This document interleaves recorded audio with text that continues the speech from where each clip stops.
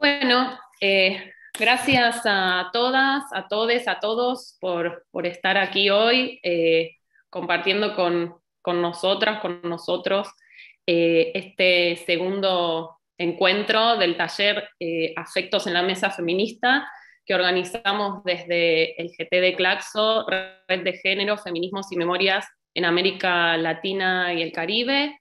Gracias a Natalia y a Cecilia del equipo de grupos de trabajo de Claxo, gracias a Itandewi, compañera del GT que nos va a estar acompañando con las redes.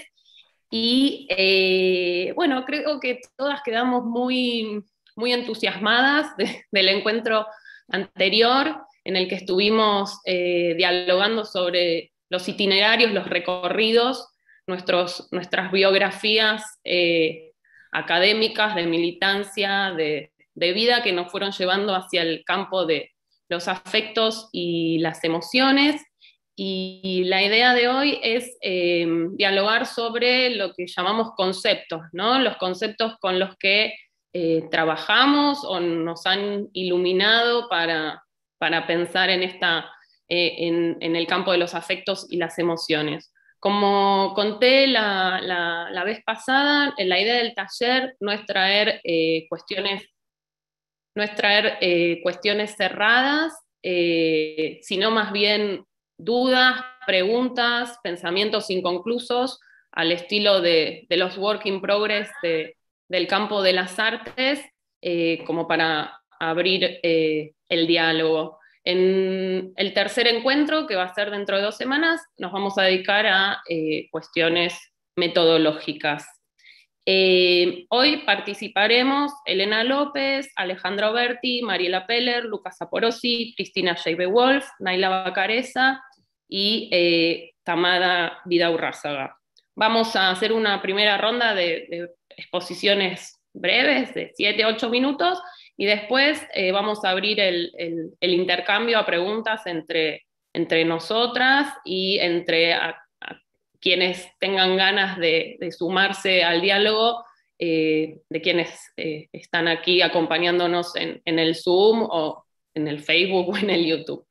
Eh, bueno, va, a empezar Elena, Elena López.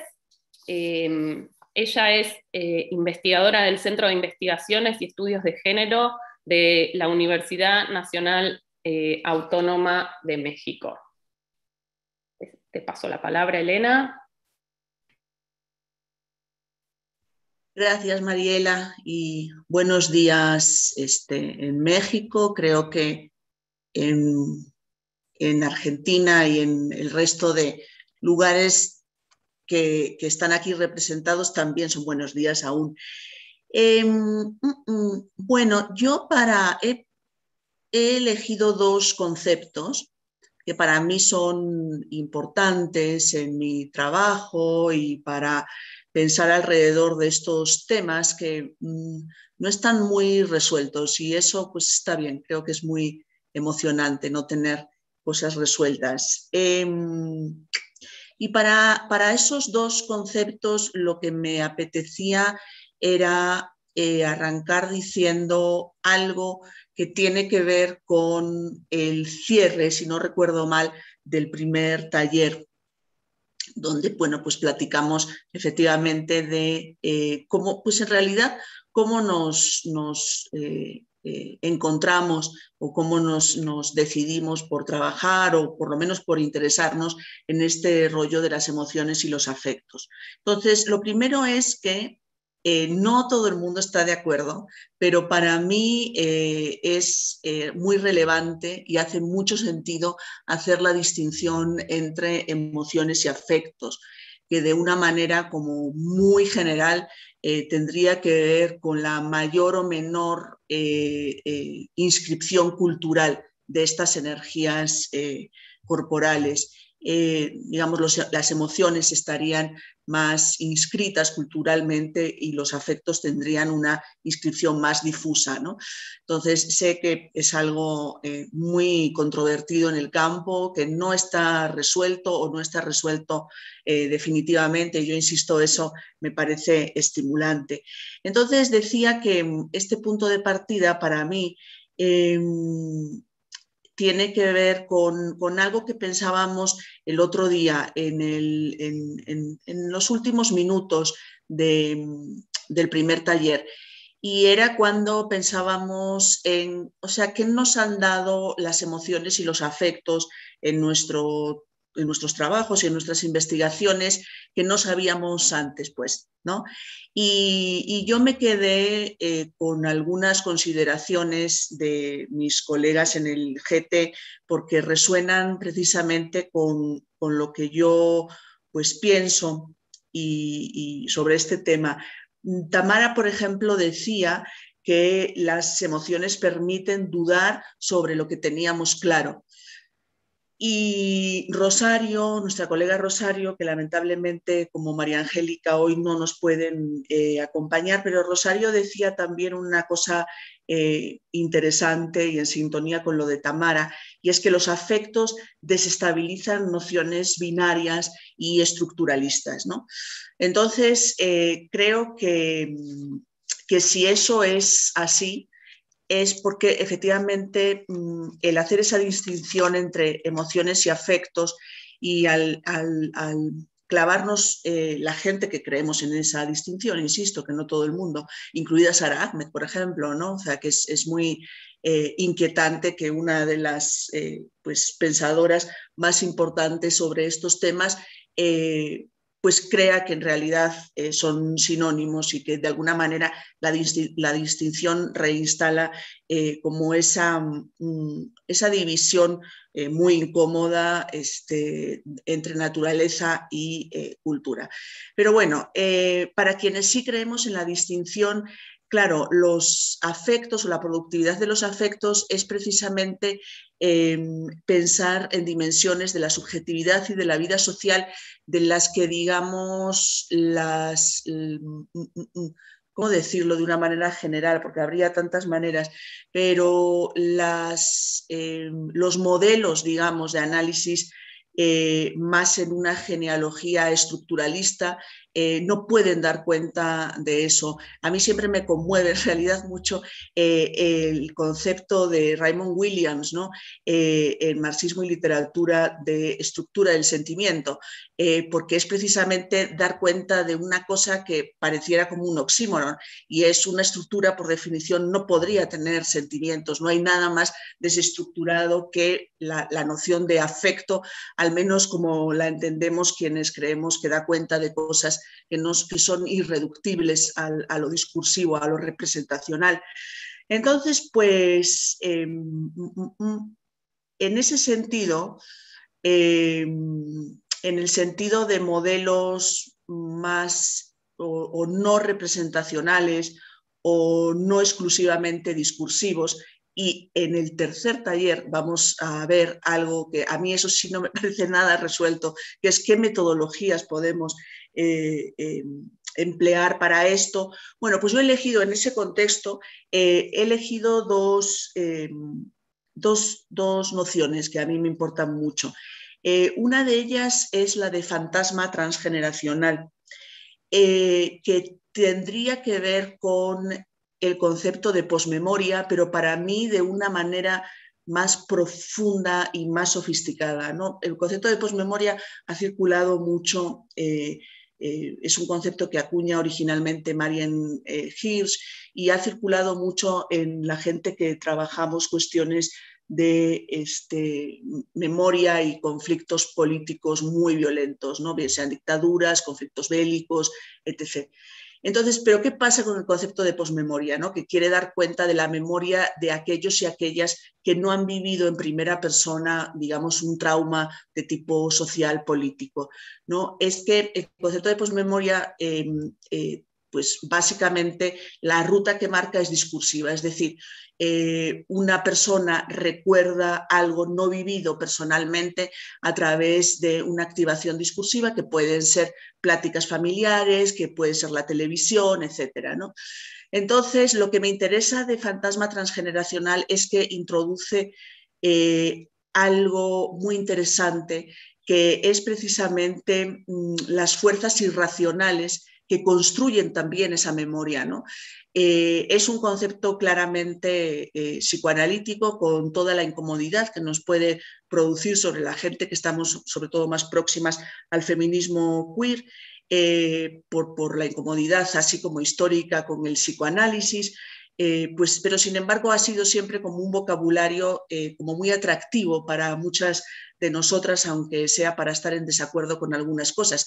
Yo pensaba ayer, pensando en lo que podíamos platicar aquí, que por ejemplo la primera Judith Butler de Gender Travel lo que quiere hacer es articular de alguna manera Foucault con psicoanálisis o Zizek, mm, Lacan con Marx. ¿no? Entonces, digo, pues es una tradición, eh, alguna gente diría provincial y parroquial eh, de Centro Europa, efectivamente, pero, pero potente, que tiene su potencia. Bueno, y entonces creo que ya me estoy extendiendo mucho, lo podemos retomar luego, ¿no? Lo que me parece productivo de esta idea de fantasma transgeneracional, que desindividualiza mucho además la relación afectiva que un sujeto y una comunidad tiene con el pasado, ¿no?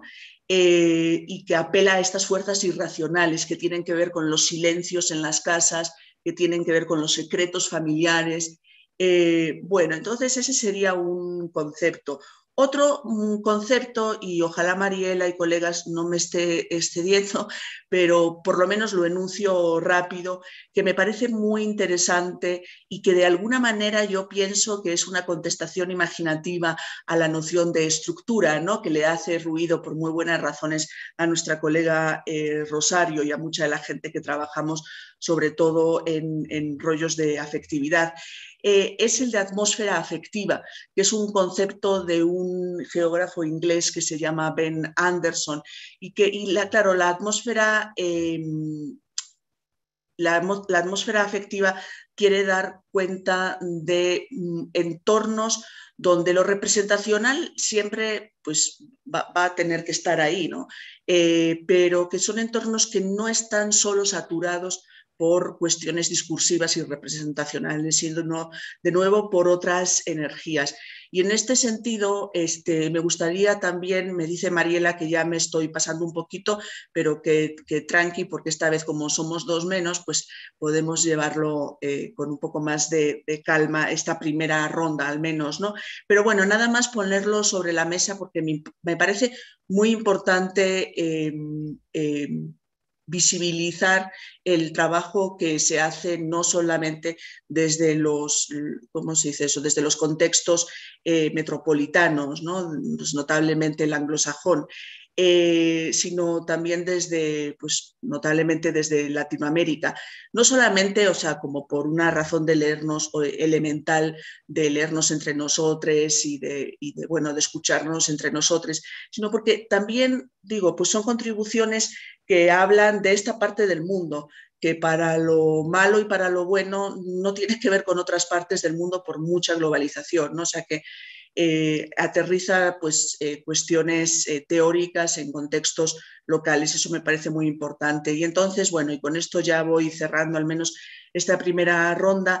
de una manera, yo leo al menos de una manera un poco sinónima este rollo de las atmósferas afectivas con un concepto que es el de mapas afectivos que han elaborado en distintos trabajos, uno sobre lugares de memoria en Montevideo y en Buenos Aires, Cecilia Macón, y otro sobre eh, literatura, en realidad, sobre el trabajo de Carlos Correas, eh, eh, Eduardo Matio. ¿no? Entonces, bueno, si quieren más adelante, pues a lo mejor podemos platicar un poco más de cuáles son las ventajas conceptuales de esta idea de atmósferas afectivas y de mapas afectivos y gracias. Bueno, Gracias, Elena. Eh, sigue Alejandra Oberti Ella es profesora de las carreras de Sociología de la Universidad de Buenos Aires y de la Universidad Nacional de La Plata y directora del Archivo Oral de Memoria Abierta de Argentina. Gracias, Mariela. Gracias a, todas, a, todos por, estar aquí de nuevo esta mañana en, esta, en este encuentro que, nos entusiasma tanto y muchas gracias a las colegas que están soportando ahí la parte técnica que, siempre es eh, necesaria y que bueno, estamos aprendiendo a resolverlo aquí colectivamente, así que bueno, muchísimas gracias a ellas también. Em, me, quedé pensando mucho después del último encuentro cómo, cómo seguir, cómo hacer una intervención en esta, en esta segunda parte, porque como, como decía la otra vez, mi acercamiento a, los afectos y a, las emociones es un acercamiento que ha sido más reciente y que, que, inicialmente fue muy intuitivo y muy anclado en esas investigaciones que estaba haciendo sobre la memoria de la militancia.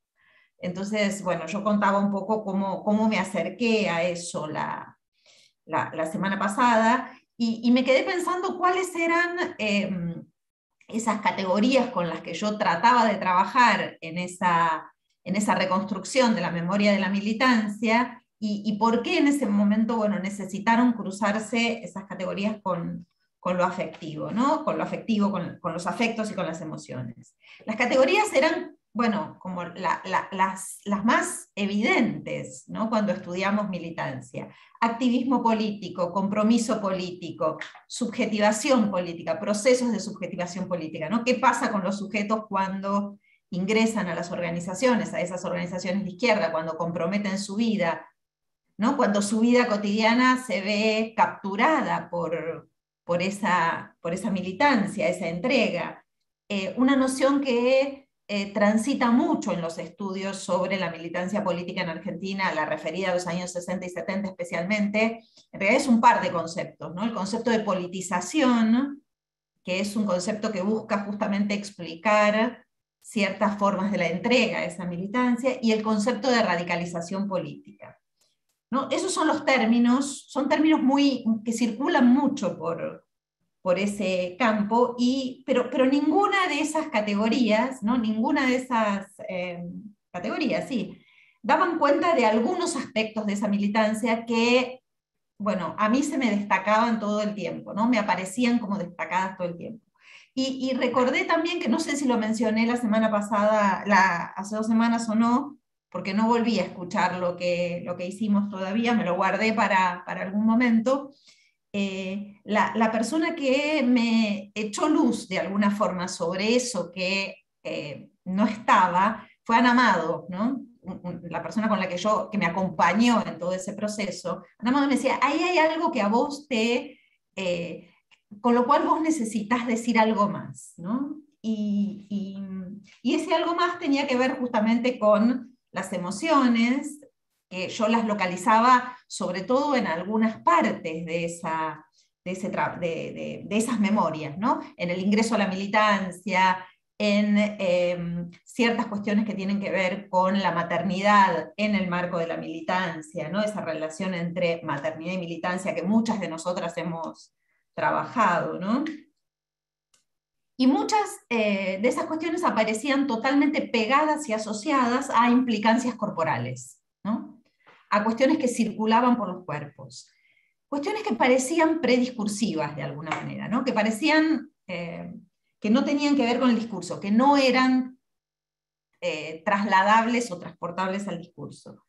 Y, uno de los textos que me ayudó mucho en ese momento, antes de llegar al de, al de Med, fue el texto de Adrián Rich, Nacemos de Mujer, donde ella muy tempranamente piensa en, esas relaciones, ¿no? entre lo discursivo y lo corporal, sobre todo en, torno a algunas cuestiones que para mí eran centrales en ese trabajo y que tenían que ver con la maternidad, y, la maternidad desde muchos aspectos. Yo empecé trabajando con la maternidad más como en el sentido social de la maternidad, pero también en una parte me apareció la maternidad eh, en sus dimensiones más, y repito una palabra que ya dije varias veces, corporales, ¿no? porque me sale decirlo así, el parto, el amamantamiento, el vínculo corporal, el contacto corporal, ¿no? En esos primeros años.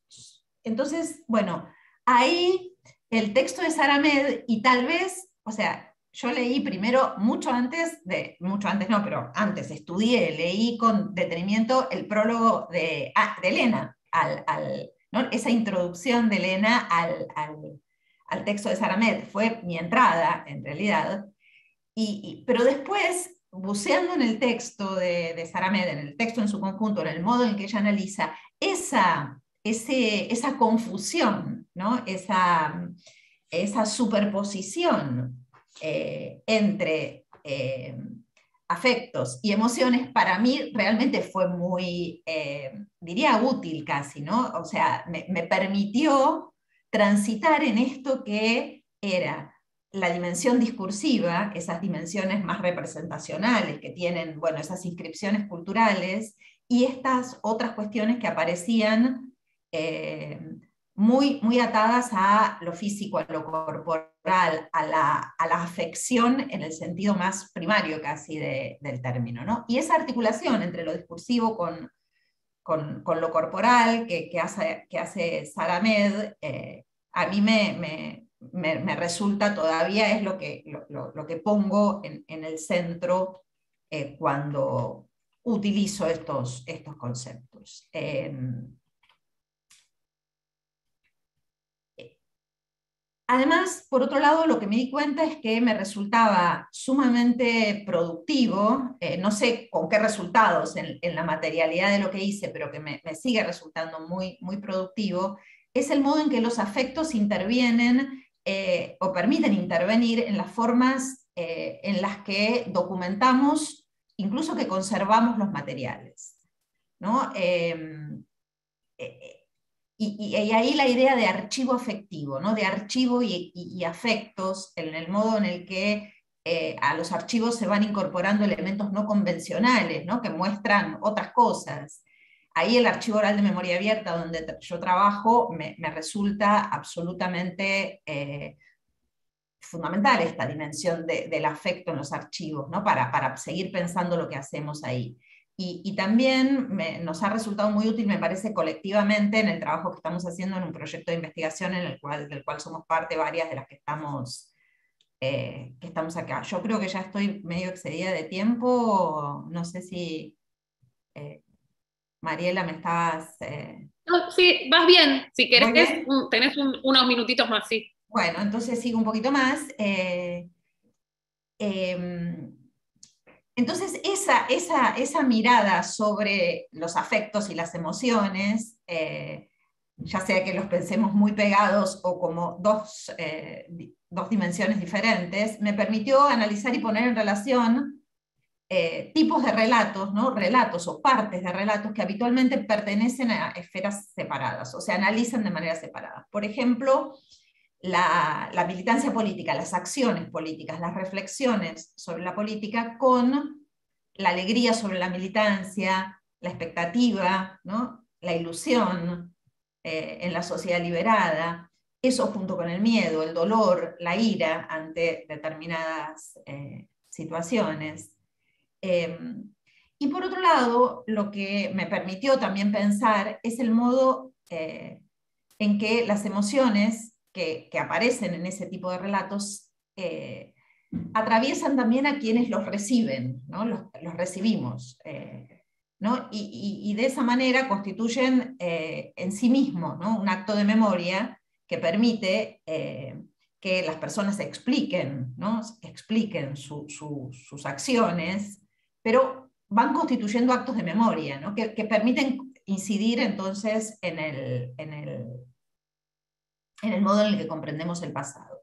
Y lo último que, quería decir eh, es que creo que desde una perspectiva conceptual las emociones aportan algo a, la temporalidad también, ¿no? Nos dan, o sea, alteran las cronologías y, permiten desordenar las temporalidades, entre lo mucho que permiten desordenar. Eh, porque muestran muchas veces cómo los elementos del pasado en los relatos se condensan, porque desarman, eh, al desarmar esas barreras entre el orden de lo privado y lo público, por ejemplo, lo, personal, lo político, eh, permiten eh, que, justamente esas miradas sobre el tiempo, sobre los tiempos, sobre el pasado se, condensen, eh, sucedan otras, otras cuestiones. entonces, incluyen de alguna forma, eso era lo último que, quería señalar, incluyen de alguna forma la escucha, ¿no? condicionan esa escucha, invitan a dejarse afectar, a, recibirlos en, todas estas dimensiones. Entonces, quiero dejar por acá, porque me gustaría retomar eh, esa idea en, el encuentro que viene donde vamos a hablar de las, de las metodologías, ¿no? porque ahí me parece que hay algo para pensar, no porque yo sepa qué hacer con esto, sino todo lo contrario, porque tengo un montón de preguntas en, relación a esta, cuestión. Dejo por acá. Bueno, eh, gracias Alejandra. Eh, sigo yo, yo soy Mariela Peller, eh, soy docente en la carrera de Sociología de la Universidad de Buenos Aires e investigadora del CONICET en Argentina. bueno, eh, como mencioné un poco en el encuentro anterior, em, yo también llegué como a las lecturas del giro afectivo como tardíamente, ¿no?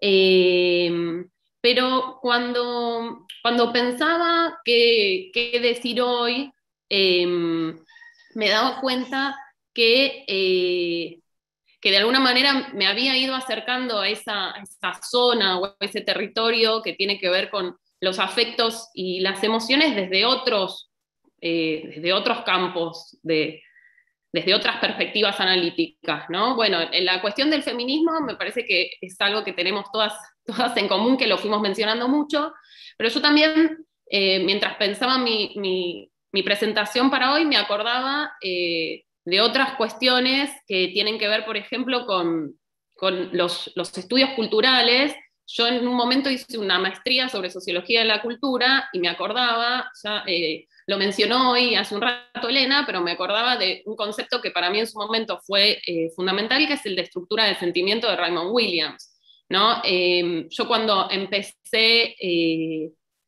bueno, con, con esta maestría de sociología de la cultura, el concepto de, de estructura del sentimiento eh, fue eh, fundamental ¿no? para pensar de alguna manera un, abordaje mm, del poder y de, de, la cultura, un abordaje que podemos pensar más, eh, más micro o que tuviese en cuenta lo simbólico, lo ideológico, ¿no? estas perspectivas marxistas que venían a pensar como esas zonas de la cultura que otros, otros pensadores no, hacían visibles. Em, y dentro de estas coincidencias, yo pensaba, dentro de estas coincidencias entre giro afectivo, feminismo y algunos autores de, los estudios culturales, me parece que eh, una de las coincidencias es que intentan de jerarquizar los binomios, ¿no? Y que uno de los más importantes que, que tienen en común es el de razón-emoción. Eh, y entonces acá quiero recuperar una pregunta que hacía, que hacía Elena la semana pasada, que me pareció operativa para pensar, que es, ella decía, bueno, ¿qué podemos pensar en nuestras investigaciones a través de las emociones que no habíamos pensado antes? ¿no? Eh, entonces yo pensaba, bueno, en mi caso, em, esos aportes eh, por ahora, de alguna manera, no vienen tanto de esta distinción entre afectos y emociones que, que recuperaba Elena, eh, no, esa distinción quizás en mi propio trabajo no me resultó tan productiva, aunque, eh, digamos, entiendo la distinción, o más o menos, porque me parece compleja, pero entiendo esta distinción que plantean algunas autoras entre una cuestión más eh, como preverbal o intuitiva, que sería lo afectivo, ¿no? como una, una, lectura más delesiana, vinculada como a la capacidad de los cuerpos de afectar y de ser afectados, Em, entiendo como esa distinción entre afectos y las emociones que serían algo más atravesado eh, o procesado por el lenguaje. Pero en mi caso, de alguna manera, vengo más bien pensando las categorías como afectos, emociones, sentimientos de, de manera más bien indiscriminada. Y en cambio, una de las cuestiones que sí me, está resultando productiva tiene que ver con la crítica que el giro afectivo hace a la distinción entre afectos positivos o negativos, buenos o malos, liberadores u opresivos. ¿no? Para poder, en cambio, eh, como examinar cómo funcionan las emociones en situaciones específicas, como, como qué usos hacen los sujetos de las emociones, ¿no? Un poco María Angélica, en el encuentro anterior mencionaba esto, también que me parece súper importante en el contexto latinoamericano actual, cómo los afectos no solo pueden colaborar a la emancipación, a los cambios emancipatorios, sino que también sostienen la dominación y la normalización de los sujetos. Y entonces, para pensar esto de la cuestión de los usos de las emociones, traje dos ejemplos de, mi, trabajo. ¿no? El primero tiene que ver con em, mi tesis de doctorado, que eh, fue una tesis sobre familia, militancia y vida cotidiana en el PRTER, una organización eh, armada de los años 70 en Argentina. Yo en esa tesis había analizado en la prensa partidaria, en las revistas de la agrupación, cómo aparecían em, fragmentos narrativos en, ese, en esas revistas eh, eh, políticas, digamos, ¿no? Cómo, las revistas, las publicaciones de la prensa partidaria traían eh, cartas personales, biografías necrológicas, historias de vida, eh, que, aportaban de alguna manera un lenguaje íntimo y afectivo en ese marco, de, en esa revista de propaganda político-partidaria.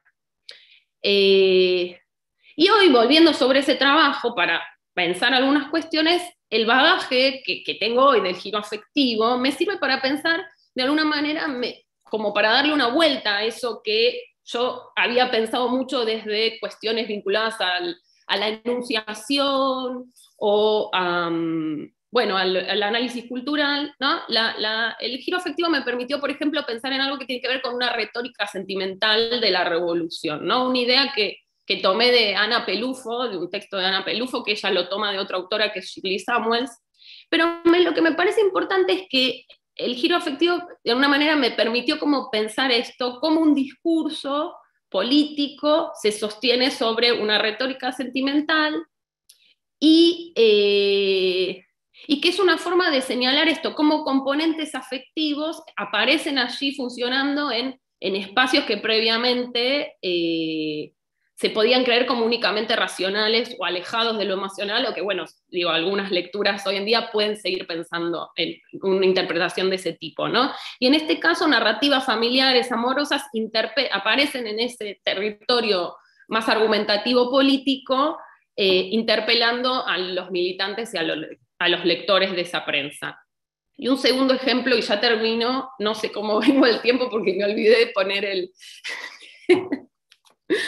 Bueno, el segundo ejemplo eh, tiene que ver con mi tema de investigación eh, más actual. Un segundo ejemplo de estos usos, podríamos decir, de las emociones de maneras, eh, bueno, que, el giro afectivo permite pensar como desviados o en otras lecturas. En mi investigación actual yo estoy trabajando sobre el colectivo Historias Desobedientes, que es un grupo de hijas e hijos de represores en la Argentina que cuestionan a sus eh, a sus padres, al accionar criminal de sus padres durante la última dictadura. Y en ese caso estoy, eh, estoy viendo cómo el sentimiento de vergüenza que experimentan estas descendencias, estas hijas e hijos, ¿no? la, cuestión de la vergüenza aparece mucho, eh, que es usualmente un afecto pensado como negativo, en estos casos actúa de una manera que les permite como desplazarse desde el ámbito de las lealtades familiares militares hacia el campo de los derechos humanos y la memoria, la verdad y la justicia, ¿no? De alguna manera la vergüenza aparece en, eh, en las hijas, una vergüenza que no estaba, no, está en los progenitores, que podríamos pensarlos como un sujeto sin vergüenza. Eh, y entonces, de alguna manera, esta segunda generación hace un buen uso, un uso ético, un uso justo de las emociones, en este caso de la vergüenza. Esta idea del uso ético es una idea que está en Didi Uberman, eh, bueno, y en este caso entonces podemos ver cómo un afecto caracterizado como negativo está operando de un modo ético político. Bueno, voy a cerrar acá. Eh, no sé cómo estuve de tiempo. Ah, no, tengo que pasar a presentar a quien sigue. Yo ya entregaba. Bueno, eh, después de mí viene Lucas Zaporosi. Él es becario doctoral del CONICET y docente en la carrera de Sociología de la Universidad de Buenos Aires. Lucas. Bueno, ¿qué tal? Buenos días, gracias, Diana. Eh, y bueno, eh, también pensando un poco en la intervención de hoy, me quedé bastante pensando también en la, última, la última reunión. Y en base a eso, bueno, traté de, eh, de armar algo para compartir algunos conceptos de los que viene trabajando.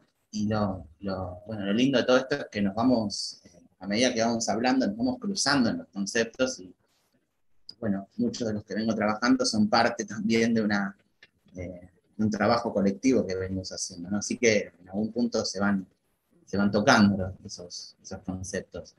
lo primero que quería mencionar es que los conceptos que uno va trabajando sobre los afectos, cuando lo, trata de, encontrar en los campos de estudios de la memoria, ve que esos conceptos ya estaban hace tiempo, ¿no? Digo, la idea del giro afectivo es algo contemporáneo, nuevo, pero si uno ve los trabajos, no sé, por ejemplo, la comunidad afectiva es un concepto que aparece en Maurice Colbach hace bastante tiempo, ¿no?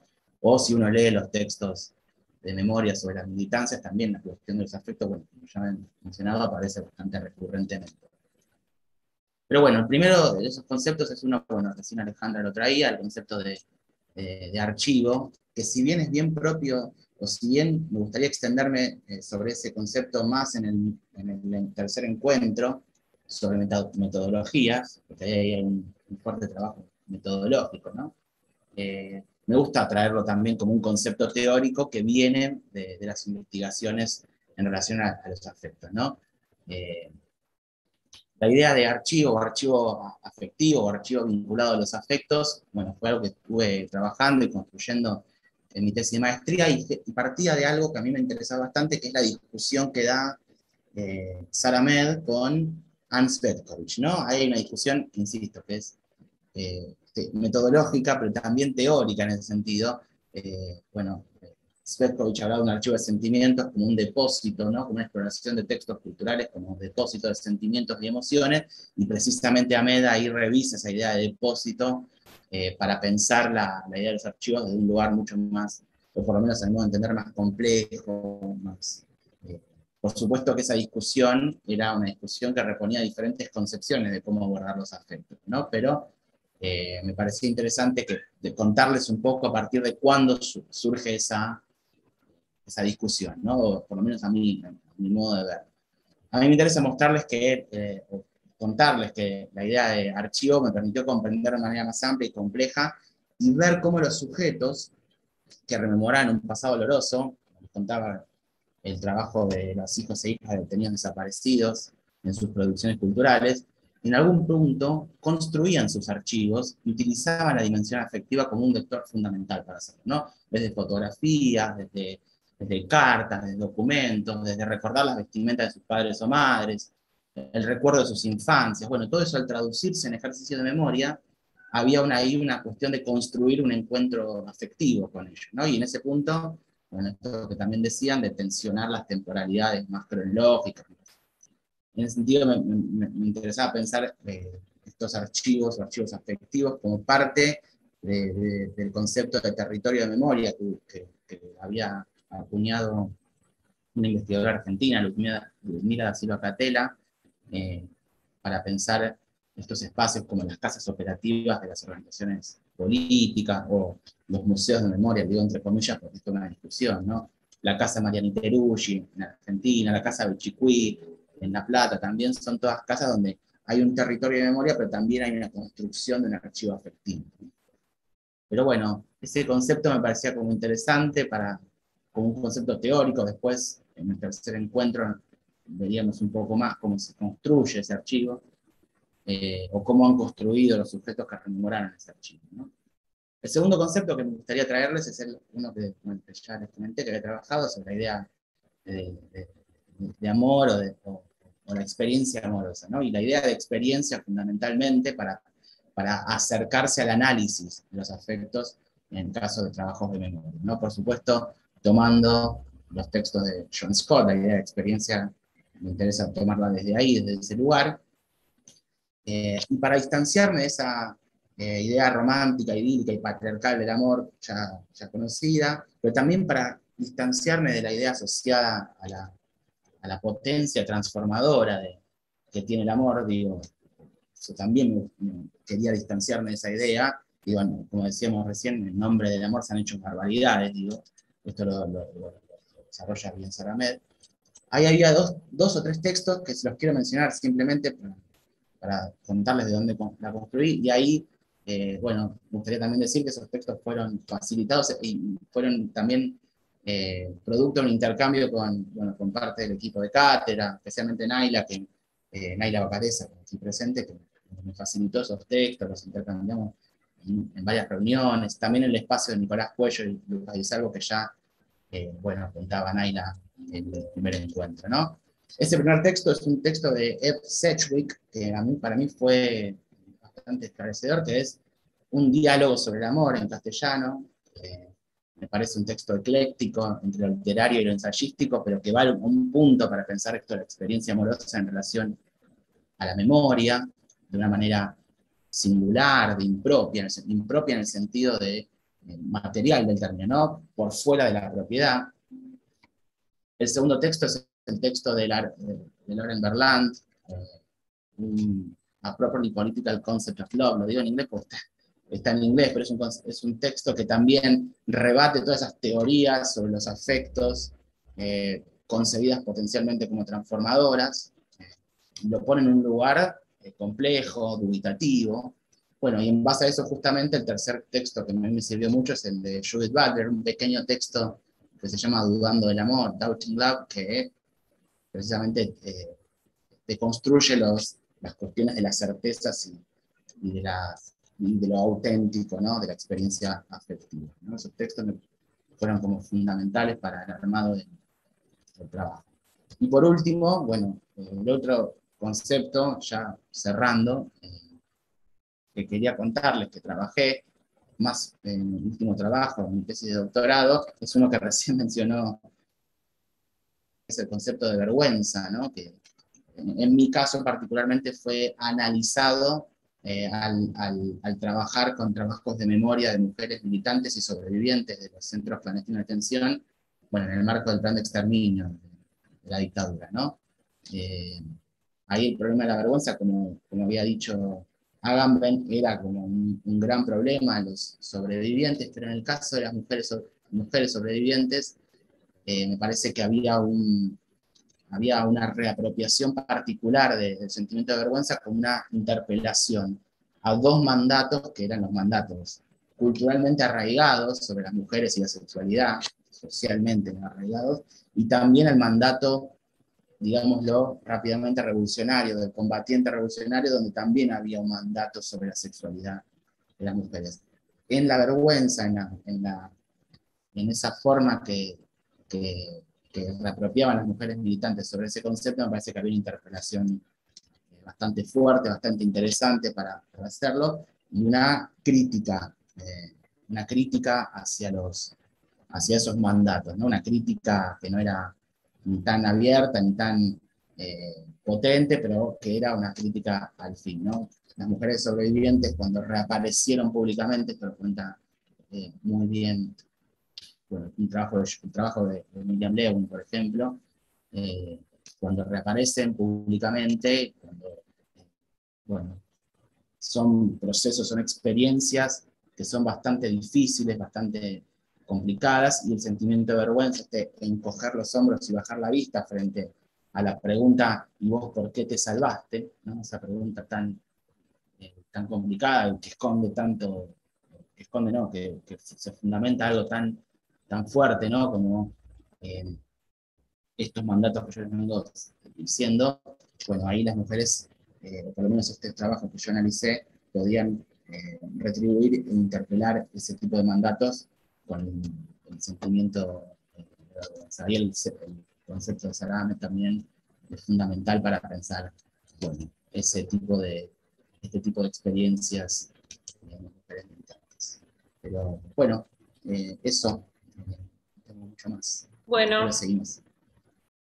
Gracias, Lucas. Eh, es el turno de Cristina J.B. Wolf, profesora del Departamento de Historia de la Universidad Federal de Santa Catarina, eh, investigadora del Consejo Nacional de Desarrollo Científico y Tecnológico de Brasil. Gracias, gracias a todas e a todos e a todos por, por podermos fazer esse diálogo aqui. É, eu vou ler porque isso em, em espanhol, assim, uma tradução Google. assim que se, me desculpo se, se não está muito bem. Confesso que quando comecei, empecé a trabalhar com as noções de emoção e afeto, meu primeiro acercamento a essas categorias foi desde o sentido comum. Eh, estava tratando de falar sobre algo que não estava tão anclado em lo que se considera racional. Me di conta que quando se trata de questões de gênero, as razões, as lógicas, os discursos elaborados no siempre fueran eh, capaces de explicar las motivaciones para la acción, las formas de concienciar al público, nuestra propia sensibilidad a ciertos temas como historiadoras. Quando leemos as fuentes, também nos sensibilizamos e adquirimos uma compreensão do passado, uma compreensão que a menudo vai mais allá de lo que podemos explicar em termos racionais e metodológicos sentimos como, não sei como se chama, arrepios, como piel de galina, não sei, como assim. Eh, la risa, llanto, são parte das nossas experiências em la hora de manipular fuentes, especialmente quando se trata, por exemplo, de testigos orais. No campo da história, eh, já aparecido o estudo das emoções há algum tempo. Primeiro se falou especialmente de sensibilidades, e os estudos em Brasil de Sandra Pesavento e Maria Isilda Matos são grandes referentes. Em, França, muito Alain Corbin e outros também trabalhavam com essa com essa questão de sensibilidades. É, pero pouco a pouco o tema de uma história das emoções va ganhando muita notoriedade.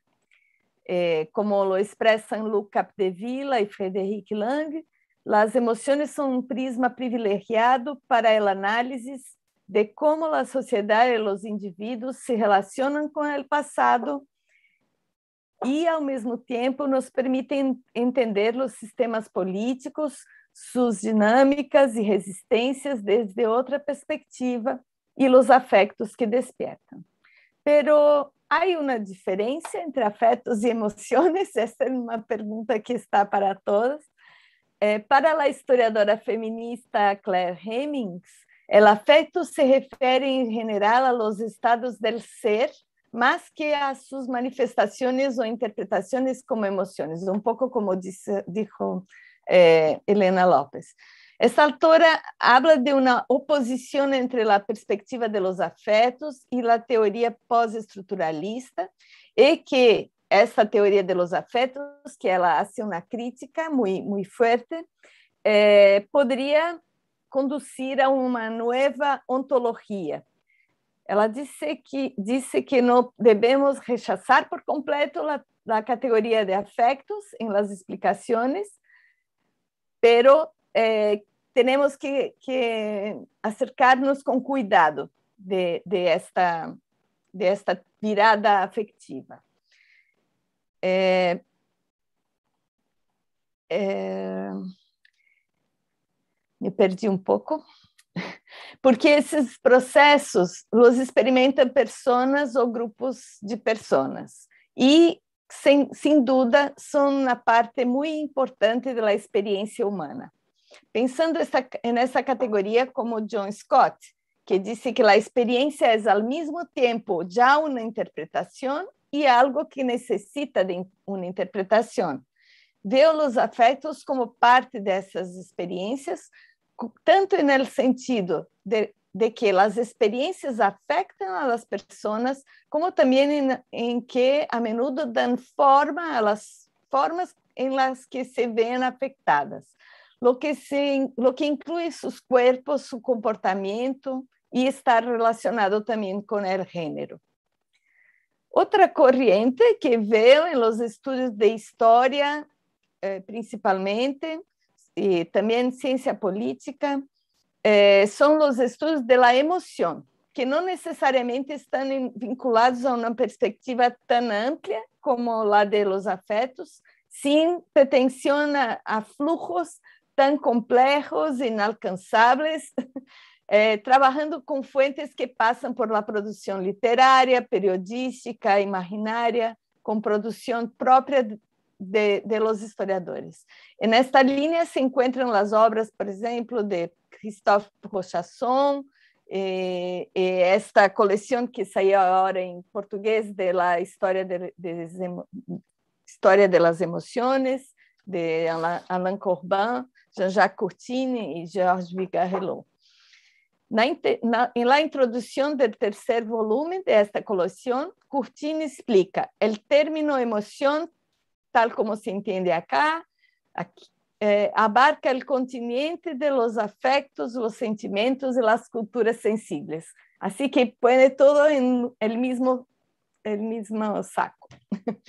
Este esforço por ver as emoções, os afetos, os sentimentos de uma maneira mais aberta também permite o trabalho de historicizá-los, entendo como as pessoas em sua época, entendendo como as pessoas em sua época, em suas sociedades, em sua continuidade, em sua cultura, em sua cotidianidade, perdão, em sua cultura, em suas instituições e linguagens, eh, se referiam a, a suas emoções, como os afetos e os sentimentos interferem em suas decisões, consciente ou inconscientemente, como se formam.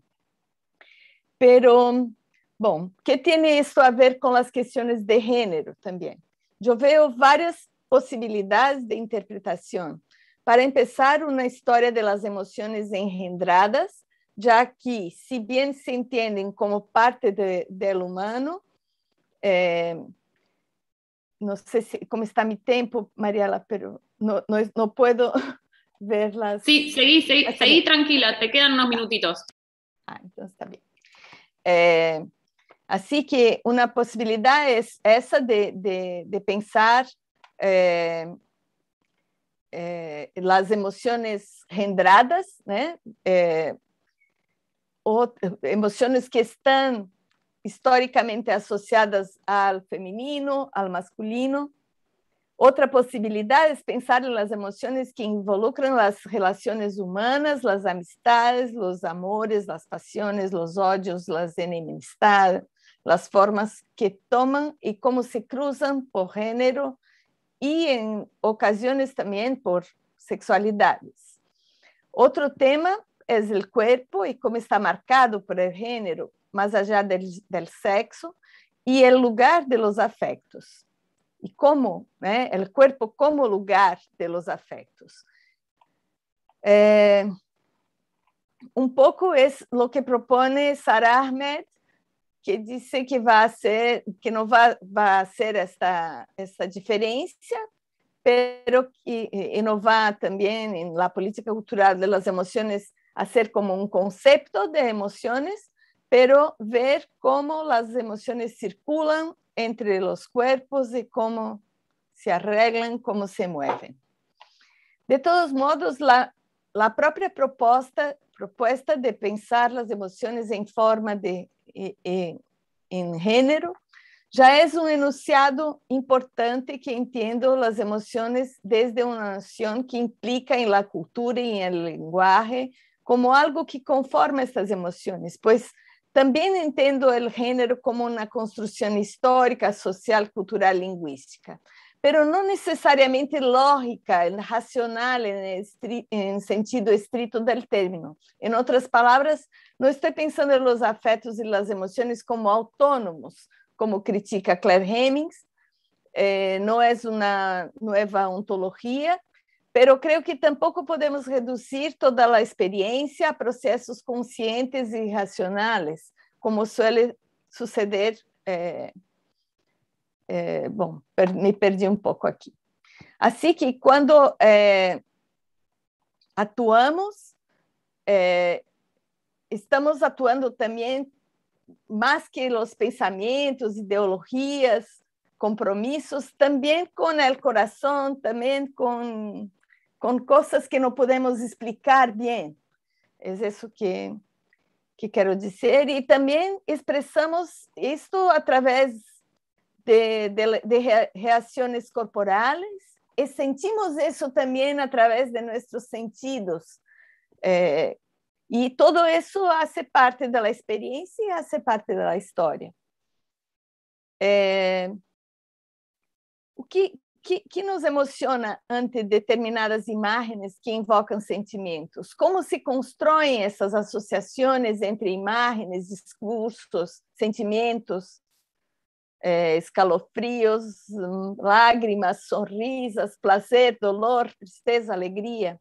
Então, a conexión entre género y emociones que trato de poner aquí no es que las mujeres sean más emocionales o aunque a largo de la historia ocidental essa premissa se ha construído e solidificado, como demonstra Ute Frevet, em la, em la história as emoções quase sempre se, se foram, foram engendradas, sim? não sei como, com, estão é, envueltas em gênero. É, Frevet mostra, por exemplo, que não só existiam diferentes emoções para homens e mulheres, sino que certas emoções tinham diferentes significados e materialidades segundo o gênero, como é o caso do honor, por exemplo. É, bom, eu penso que vou, vou a terminar. É, bom, muitas de, de de, de, de, de, las personas que están aquí me inspiraron mucho, eh, eh, especialmente hay un texto de Elena López que cita Audre Lorde, que ahí fui a leer también Audre Lorde eh, y otras tantas mujeres negras, indígenas, trabajadoras, estudiantes, activistas. las emociones nos impulsan a pensar, são instrumentos epistemológicos para compreender nosso mundo e nossos projetos. Nos instam a atuar, já que a ira, el ódio, el amor, a risa, todo isso nos ajuda a superar os medos, o dolor, nos ajuda a viver com amistade, solidariedade e, sobretudo, com coragem. Não sei se se diz valentia, coragem. Temos que ter coragem. Gracias. No sé si con muy claro no pudo hacer algo tan didáctico. pero, porque no es entendió, muy, sí, se entendió no es, muy No es muy claro también para mí esas, eh, esas diferencias. Perdón. No, se entendió todo muy claro, Cristina. Quédate tranquila. Muchas gracias. Eh, bueno, sigue eh, Naila Bacareza, ella es investigadora del CONICET en Argentina y docente de la Universidad de Buenos Aires. Hola, buenos días. No sé, ya son buenas tardes, quizás en algunos lados. Este, una alegría escucharlas, escucharles, eh, compañeras. Este, se va complejizando y se va poniendo también cada vez más interesante la charla. Eh, yo traje algo corto para leerles este, y Mariela, vos me vas a decir en voz alta cuando me pase el tiempo. Este, voy un poco hacia varias cuestiones que ya empezamos a conversar, porque habitualmente cuando damos cuenta de los conceptos que usamos para estudiar los afectos y las emociones, eh, recurrimos al tropo del giro afectivo, ¿no? Lo mencionamos. Este término eh, se usa para describir eh, un momento de condensación de un emergente y muy diverso campo de estudios sobre afectos y emociones que se puede ubicar a mediados de los años 90 en Estados Unidos y también eh, quizás un poco después en Europa. Para explicar el surgimiento del giro afectivo, habitualmente se hace referencia a cierto agotamiento de otro giro, el lingüístico, y a una necesidad de desplazar la primacía de lo discursivo, lo estructural, lo normativo en la teoría contemporánea para dar lugar al análisis de dimensiones, podríamos decir, más sutiles de la vida social y política. eh, en términos de Raymond Williams, ¿no? la cuestión de, de las dimensiones sutiles, lo afectivo, lo emocional, lo sensorial. En ese marco histórico y también geopolítico, ganó tracción la distinción conceptual entre afecto y emoción, de la que venimos conversando varias, eh, que es paradigmáticamente elaborada por Brian Masumi y eh, retomada y reelaborada por quienes se ubican en una línea de reflexión que es deudora del trabajo de Gilles Deleuze y también de la lectura que hace Deleuze de Spinoza. Eh, para hablar un poquito más de esa distinción, cito un texto que escribí con Mariela Solana. Según esta perspectiva, los afectos son definidos como intensidades o fuerzas somáticas. En tanto, productos de la experiencia sensorial son fenómenos no conscientes y no verbales, y solo adquieren un contenido semántico cuando se convierten en emociones, es decir, cuando se las codifica y narrativiza según normas sociales existentes. A diferencia de las emociones, los afectos exceden las convenciones culturales, difieren del pensamiento consciente y tienen una dinámica y una vida propia que es autónoma de la estructura social. Dicho esto, creo que, eh, sin embargo, eh, la idea de giro afectivo em, como un cambio paradigmático y también la distinción entre afectos y emociones, como ya venimos diciendo, son objeto de mucha controversia y están lejos de em, tener un consenso generalizado. Y en ese sentido, creo que una mirada feminista y también situada en Latinoamérica es importante porque contribuye también a seguir desestabilizando y cuestionando estos puntos de partida que a veces eh, damos por sentado. Por un lado, eh, en cuanto a la cuestión de la mirada feminista, autoras como Sara Med, Ans Betovich o Claire Hemmings eh, criticaron la idea de que haya algo tan nuevo en el giro afectivo, ¿no? Con esta idea de giro también se implican nociones en cuanto a una gran novedad. Esta es una cuestión que trabajamos con Mariela Solana en una sesión temática eh, que se llamó Feminismos, Afecto y Política, que editamos para la revista Estudios Feministas y donde participaron varias compañeras acá presentes, eh, Cristina, Mariela, Alejandra. Eh, la crítica feminista lo que observa es que em, la idea de giro de los años 90 y de los 2000 tiende a olvidar que las teorías feministas se ocupan de criticar la distinción entre razón y emoción desde sus inicios, o sea, desde muchísimo antes. Y que también en las teorías feministas se ha planteado la importancia del rol de las emociones en la producción del conocimiento desde muy temprano, del rol de las emociones en la política y también en la constitución de subjetividades. También estas autoras que mencioné y otras eh, prefieren no trabajar con la distinción fuerte entre afectos y emociones. En, esa discusión, eh, Sara Ahmed intervino de una manera muy aguda cuando señaló que las controversias sobre estos términos conceptuales son también disputas políticas al interior de los campos de conocimiento, donde, la cito, eh, los autores más masculinos, perdón, la cito bien, donde los autores masculinos reciben el estatus de iniciadores de este giro. Y también, esto lo agrego yo, logran establecer sus distinciones conceptuales como válidas. Ahora en cuanto a la mirada latinoamericana. Eh, una mirada eh, situada en nuestra región nos obliga a pensar sobre los lenguajes eh, conceptuales regionales que tenemos para hablar sobre los afectos y también sobre los procesos de traducción, apropiación y transformación de los conceptos provenientes del norte global que estamos haciendo en nuestro trabajo ahora mismo. Esta charla es un poco la prueba de, las maneras en que traducimos, reapropiamos, transformamos conceptos, encontramos conceptos provenientes de nuestra región. Y esta es una cuestión central que Elena ya la señaló también muy temprano en este prólogo a la política cultural de las emociones que varias estamos mencionando porque fue un texto súper eh, seminal. Em, en la introducción al libro Affect, Gender and Sexuality en Latinoamérica, que editamos con Mariela Solana y con Cecilia Macón, observamos que es importante no pensar nuestra región como un locus pasivo de recepción de teoría, y tampoco entender el auge de los estudios de los afectos en la región como un mero efecto tardío de lo que sucede en la Academia del Norte Global.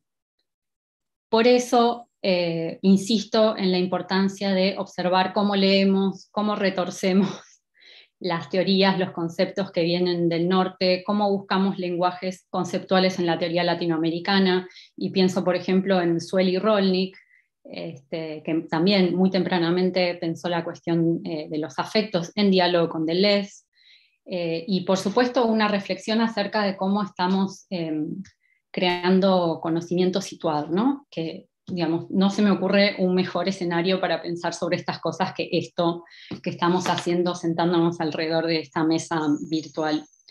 Y en cuanto, para terminar, paso a una reflexión muy breve sobre mi trabajo, que en verdad continúa un, diálogo que venimos teniendo con Elena hace varios años ya, sobre si es útil o no es útil esta distinción, ya parece una cosa, una discusión sobre el sexo de los ángeles, lo que hacemos.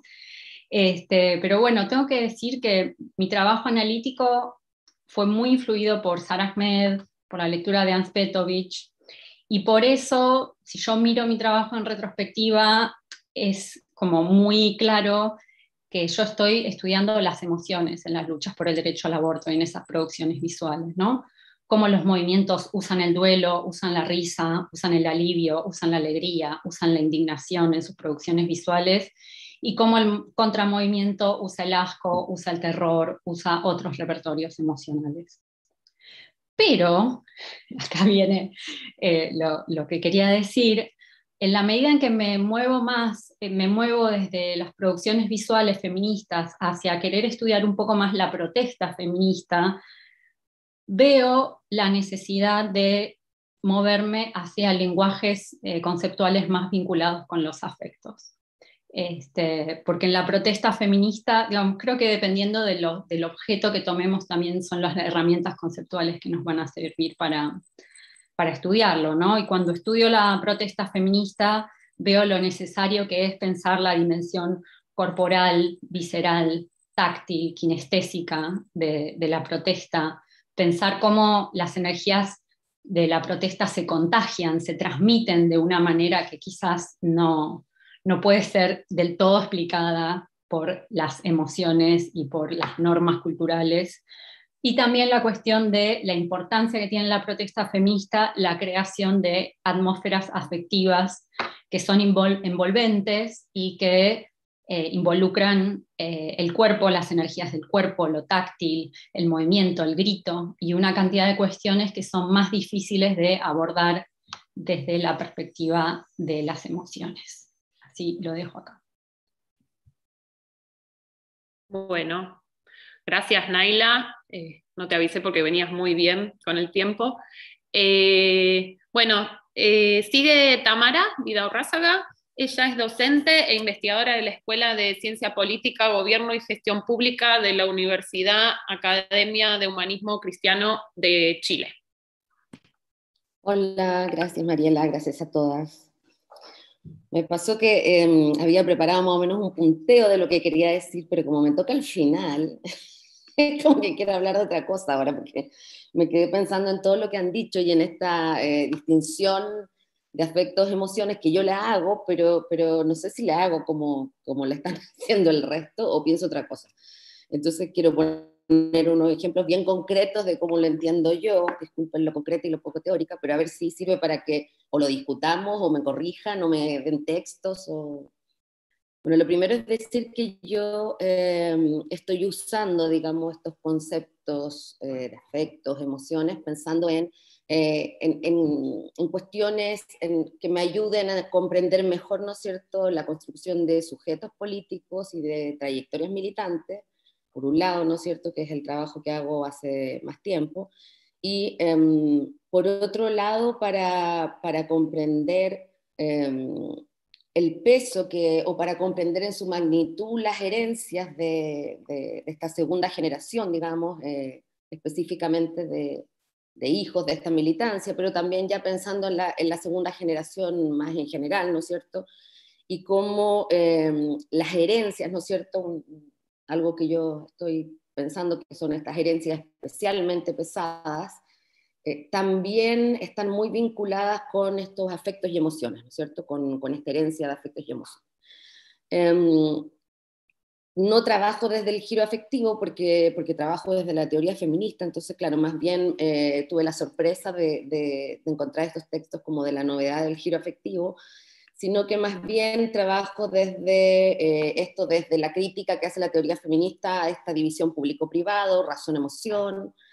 Eh, y entonces, claro, la Sara Ahmed es, digamos, mi puntal ahí, eh, y de ella sobre todo me interesa la cuestión de la domesticación política de lo emocional, ¿no es cierto? Cómo ahí, eh, cómo las emociones han sido vistas como, que es lo que han dicho ya, ¿no es cierto? Como una cuestión espontánea, irracional, cuando en realidad tienen todo que ver con la política, no solo en términos de lo que hago, sino también de cómo esas emociones son domesticadas, moldeadas por... Eh, con, con, con, intenciones políticas. Eh, me interesa de ella esta crítica, ¿no es cierto?, eh, entre las emociones buenas y malas, que me parece muy productiva, y también pensar cómo esas emociones em, también pueden ser buenas o malas dependiendo del lugar donde están, ¿no es cierto?, y aquello que movilizan, eh, pensando, por ejemplo, en la violencia política. y cómo, cómo las afectaciones, ¿no es cierto?, estoy diciendo cosas que me interesan de lo que propone Sarah Ahmed, produce movimientos políticos, ¿no es cierto? Esto de la respuesta al dolor, ante la, indignación, la injusticia, eh, y sobre todo me interesa lo que ella habla sobre cómo los afectos y las emociones funcionan en espacios políticos, colectivos, como una suerte de adhesivo. Y entonces acá, ay, no puse el cronómetro, lo siento. Em, acá eh, me, detengo un poco en, este, en el debate, ¿no es cierto? Em, porque yo entiendo una distinción entre afectos y emociones que tiene que ver más con que una sea eh, irracional, digamos, y espontánea y no, no pensada o no, o, no, o no pase por lo cultural. Eh, entiendo los afectos como algo, como, como, como mi respuesta, ¿no es cierto? Como no, no mi respuesta, como aquello que me sucede ante lo que veo. Yo veo, o sea, pensando en las militancias, ¿no es cierto? Que también es más claro con... Veo una situación de injusticia social, ¿no es cierto? Estoy pensando en las militantes o los militantes con los que trabajo. Eso me afecta. Ahora, esa misma afección puede tener respuestas distintas, ¿no es cierto? Hay alguien que puede sentir mucho dolor y hay alguien que puede sentir mucha rabia, y lo que va a movilizar en términos eh, políticos puede ser muy diferentes, ¿no es cierto? Me voy a trabajar en una comunidad cristiana, por ejemplo, si siento mucho dolor, estoy poniéndolo todo muy esquemático, pero es para plantear la discusión, o eh, decido que la lucha armada es válida porque es demasiado injusto. No sé si se entiende. Eh, entonces, la misma afectación puede producir emociones distintas. Y me interesa esta idea de cómo cuando esa misma afectación produce emociones similares, ¿no es cierto?, respuestas similares, eh, eso se constituye como un adhesivo político. Pero a mí me parece que lo más interesante de lo que plantea Sara Ahmed es que ni la afección ni la emoción son cuestiones intuitivas y racionales, ambas son culturales y son políticas, y hay, hay un, una intención, ¿no es cierto?, de moldear no solo la emoción, sino también la afectación. Y estoy pensando en el ejemplo que pone Sara Ahmed, que es muy claro, ¿no es cierto?, muy visual, eh, que tiene que ver con la repugnancia, ¿no es cierto? Esto de cuerpos que repugnan. Y cómo cuando eh, existe una repugnancia, por ejemplo, ante un cuerpo afro, ¿no es cierto? Esta, esta, mm, cita que pone eh, tan bonita, ¿no es cierto?, sobre la niña que va, ah, olvido el nombre ahora, la teórica feminista afro, ¿no es cierto? Y cómo cuenta ella cuando niña, cuando esta señora mira con asco y ella piensa que eh, está viendo una cucaracha y después se da cuenta que es ella la que produce esa repugnancia. me parece que justamente lo interesante de la Sara Ahmed es que lo que ella explica, ¿no es cierto? Lo que ella problematiza es que esa repugnancia, que es la primera afectación, tampoco es ni intuitiva ni precultural, sino que está moldeada. O sea, hay, un, hay, una, hay una hay un trabajo político, sistemático, para que sintamos repugnancia o temor eh, ante ciertos cuerpos, ¿no es cierto? Ante ciertas personas, ante ciertas experiencias. Eh, me interesa porque, porque, claro, yo hago esta distinción, pero, pero que no tiene que ver con lo cultural o no, no cultural, y ahora, em, no sé, o tengo que leer más o, que no entendí bien a la Ahmed, pero justamente por eso me parece interesante, ¿no es cierto? Como, como esa afectación también es tremendamente cultural, no tiene nada que ver con algo, eh, o sea, que no puedo controlar. Eh, eso lo dejo así como para conversarlo, ¿no es cierto? Eh, luego de esto me interesa también un, un, concepto que usa Axel Honneth, ¿no es cierto? Que es de la Escuela de Frankfurt, como de la última generación o de las últimas conocidas, digamos, que tiene que ver con el menosprecio y que se vincula mucho con lo que habla Sara Ahmed, aunque ella no, no, hasta donde yo he visto, no lo trabaja, pero, pero creo que dialogan muy bien, ¿no es cierto? Y que eh, él es un teórico de, de, esta teoría del reconocimiento, ¿no es cierto? Y de lo que habla es básicamente cómo eh, existen agravios, ¿no es cierto? Eh, cómo estos agravios em, producen se traducen en un menosprecio ante ciertos cuerpos, ciertas experiencias, ¿no es cierto? Eh, y cómo hay eh, eh, uno de los malestares más grandes en términos políticos pasan por la falta de reconocimiento de esos agravios y de ese menosprecio. Y creo que en esta noción del menosprecio, ¿no es cierto?, hay, hay un vínculo muy fácil, o que para mí fue muy fácil de hacer con Sara Ahmed, que tiene que ver con, em, bueno, cuando ella habla de, de, cómo una de las cosas más duras, ¿no es cierto?, es eh, que cuando se moldean estas afecciones y estas emociones, no solo eh, me doy cuenta del menosprecio que sienten respecto de mí, sino también existe este auto-menosprecio, ¿no es cierto? Este mirarme al espejo y decir, soy muy fea, soy muy negra, soy muy chica, soy muy gorda, em, en términos muy esquemáticos, eh, pero cómo eso incluso queda, se instala en mí misma, ¿no es cierto? en la propia menospreciada. Eh, y ahí me parece interesante porque ambos hablan de estas cuestiones como posibles movilizadores de lo político, ¿no es cierto? cuando, cuando yo lo vivo en términos individuales, eh, puede que no pase mucho, pero eh, cuando yo colectivizo, ¿no es cierto? La, cuando yo logro entender que ese menosprecio no tiene que ver solo con mi historia, sino que tiene que ver con una cuestión colectiva que le está pasando a otras personas, como yo y me encuentro, ¿no es cierto?, en esa eh, indignación, digamos, frente a la falta de, reconocimiento del agravio que he tenido que vivir, eh, del menosprecio, ¿no es cierto?, con el que, que tengo naturalizado, entonces eso eh, tiene la potencialidad de, de armar cosas políticas que quieran transformar esa situación, ¿no es cierto? Dejar de pensar que es un problema individual, sino que tiene que ver con un problema de las relaciones de poder. Dicho eso, no sé si me queda... Bueno, de la estructura de sentimiento ya hablaron, yo, yo empecé trabajando desde los estudios culturales, así que es como eh, de las primeras cosas que trabajé y me, me interesa mucho.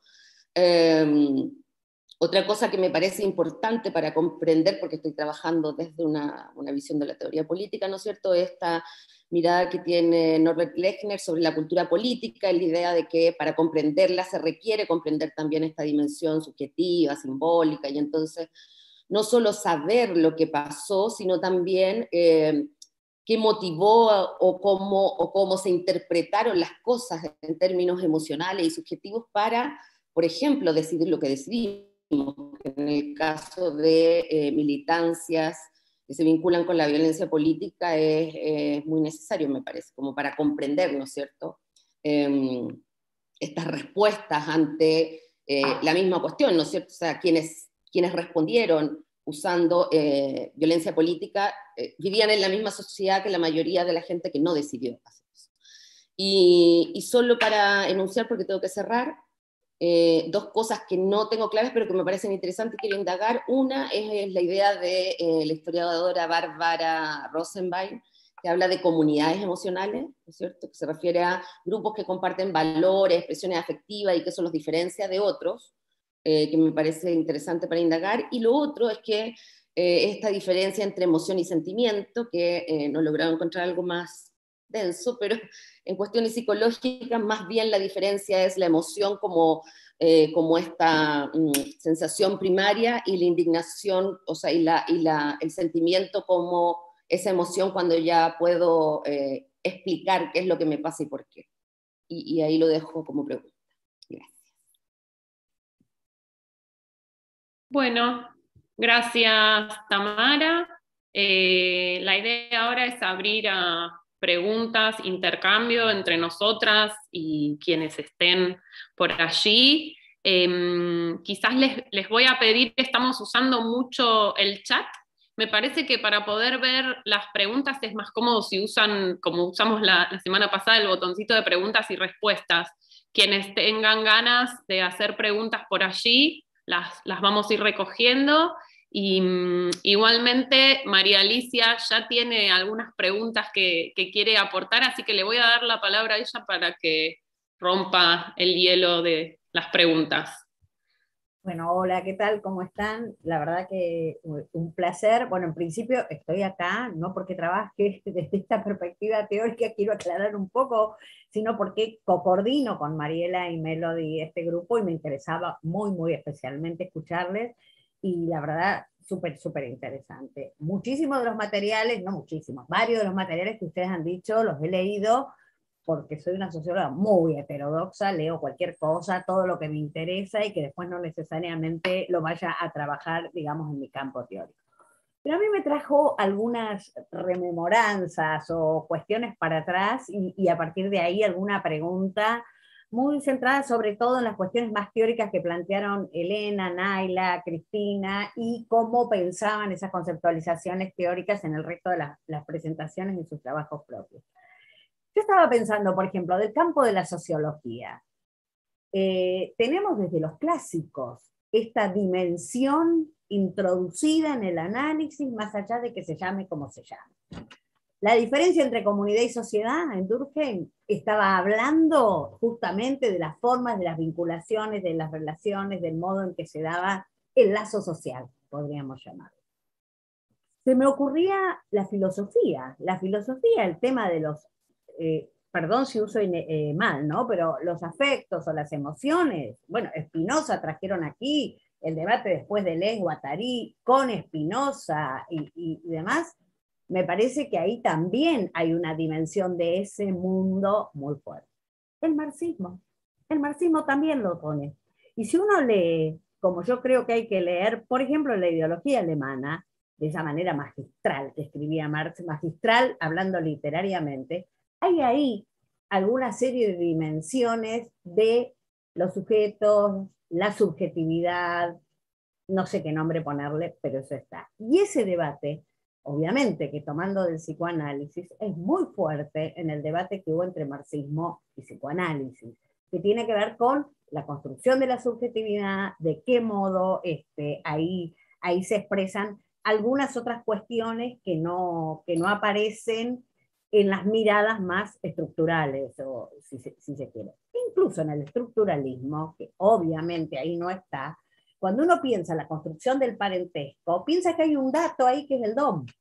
Entonces, ¿qué es el don en el, en el conjunto de las comunidades? ¿Qué significa para la construcción de lo que después sería el parentesco? Y también me parece que hay como, como otras cuestiones otros dispositivos que aquí creo que Naila los mencionó, que tienen que ver con eh, el arte en general, pero pienso en la poesía. No hay manera de pensar, ni de, ni de estructurar, ni de escribir, ni de leer la poesía, sino en esa conjunción entre lo, le ponemos estructural, que también es una palabra compleja, lo estructural, lo político, el lazo social, no sé qué, y la subjetividad y las emociones. Los estudios que ya llevan muchos años de religión y política, por ejemplo, tienen, sobre todo en lo que tiene que ver con pentecostales, neopentecostales y grupos también católicos, el, estudio de lo, de lo, que se llaman las comunidades emocionales, como decía Tamara, es algo que viene de los 80 o antes. Eh, no, no, no, hegemónico, pero hay muchos trabajos en esa línea que ahora están mucho más profundizados. Entonces, ahí voy a mi pregunta.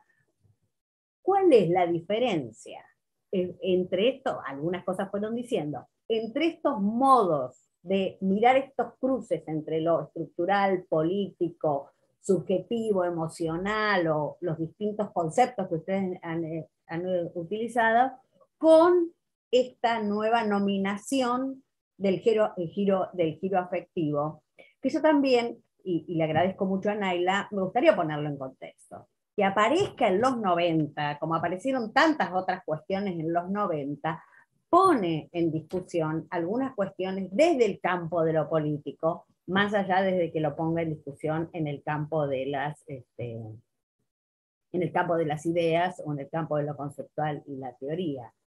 Es la época que pasamos del derecho al aborto a los derechos sexuales y reproductivos, es la época que pasamos de el análisis más marxista, estructuralista de, de las situaciones a los análisis culturalistas, sin negar la importancia enorme de esto, me parece que la contextualización quizás nos puede servir para pensar.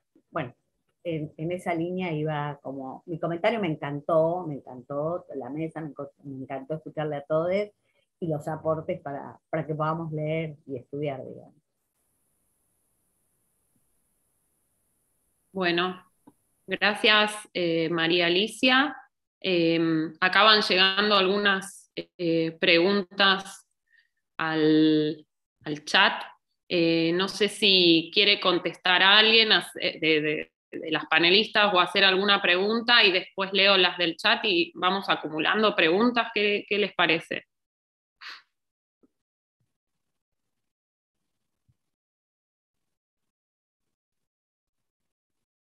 ¿Las leo? O...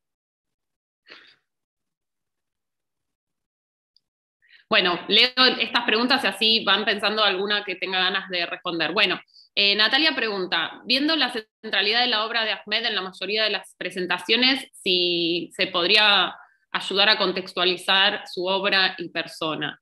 Eh, Patricia eh, pide que le encantaría que ahondáramos en la distinción entre emoción y afecto y compartir eh, bibliografía. Y Paula Sata dice, siguiendo un poco lo que dice María Alicia, eh, que venía resonando con, con lo que sentía cuando las escuchaba y también con la finalización de la propia escritura un poco heterodoxa del marco teórico de su, de su tesina, Dice, me gustaría si pueden compartir qué otras autoras y autores fuera del giro afectivo han inspirado o producido su acercamiento a la dimensión afectiva o emocional. Bueno, Alejandra, dale. Una cosa muy, muy breve porque me quedé pensando en la... No, no, voy, a, no, no, no voy a aportar a, la pregunta de, de María Alicia, sino al contrario, voy a agregar algo algo más y, escuchaba la pregunta de, Paula también y, y eh, creo que lo dijimos de distintas maneras, lo fuimos trayendo de distintas maneras eh, y, María Alicia lo pone ahí con todas las letras, ¿no? O sea, efectivamente creo que en los trabajos, en lo que presentamos aquí, eh, a partir de cada uno de nuestros trabajos, eh, el, giro afectivo o esto que aparece como eh, esta política vinculada a las emociones no, no, no, no, está trabajado como una novedad o como, o como algo que nos permitió eh, conceptualizar o ver aspectos que tal vez, ¿no? sino simplemente como un aporte más o por lo menos yo te, te interpreté eso, tal vez sea porque lo que me pasa, es lo que me pasa a mí, ¿no? Un aporte más, ¿no? un, recurso más y una analítica más que nos permite eh, establecer caminos eh, para, para, comprender algo de, lo que hacemos.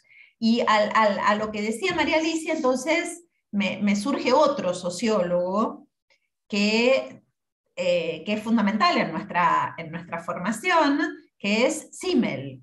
¿no? Eh, todo el trabajo de Simmel es un trabajo que se puede utilizar, eh, de hecho era el recurso que utilizábamos muchas de nosotras cuando empezamos a pensar algunos aspectos, digo, está en algún trabajo mío, está en los trabajos de, Mariela, lo tengo súper súper presente porque lo, lo, conversamos muchísimo, ¿no? Y, y, entonces podríamos decir, bueno, ahí hay una afiliación, ¿no? Bien sociológica. Eh, toda la revisión del canon de la sociología, ¿no? de los clásicos de la sociología, que es algo que se está haciendo muchísimo ahora. ¿no? no sé si se está haciendo muchísimo, lo están haciendo algunas colegas, lo están haciendo alguna gente que trabaja, por ejemplo, en, en, una de las facultades donde, donde yo trabajo. En esa revisión del canon empiezan a aparecer formulaciones como las de Marian Weber, algunas formulaciones del propio Simmel, ¿no? que entran, para nombrar algunos, hay muchísimas más autoras, ¿no? pero entran al bies, entonces, en ese canon de la sociología y nos sirven justamente para conceptualizar algunas de estas cuestiones. Y lo otro es que todas las que venimos estudiando la teoría feminista, eh, tenemos ahí una, inspiración fundamental. Yo creo que lo dijimos de todas las maneras sabidas y por haber ya acá, ¿no? Lo, trajimos en, el trabajo de todas nosotras. Digo, para mí, el descubrimiento de que había algo clarísimo que se podía pensar desde estas perspectivas es, bueno, el propio Simmel, la, lectura de algunas cuestiones de Simmel y las feministas negras norteamericanas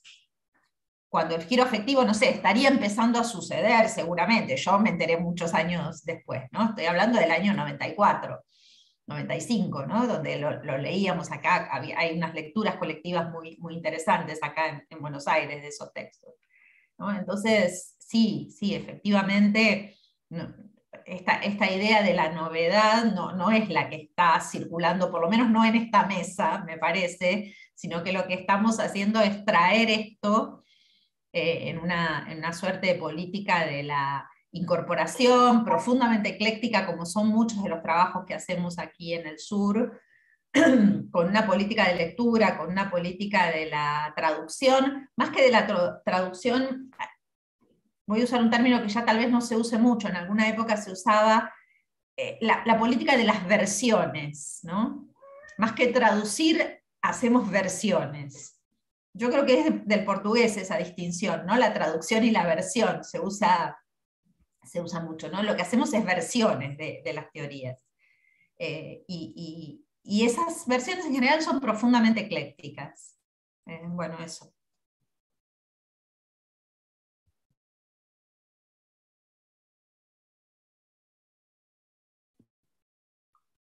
Bueno, gracias Alejandra. Le le doy la palabra a Cristina, que está levantando la mano. Cristina.